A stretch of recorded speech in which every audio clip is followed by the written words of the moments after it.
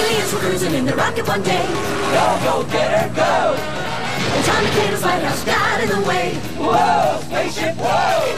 Planet Earth looks so nice. The aliens didn't think twice. They moved in with Tommy and decided to stay for a while. There's Dinko! Tommy's friend to the end Gumpers! has the strength of ten men. Swanky! With his nose in the air, Scruffy and Flip! crazy wild pair on Pet Alien.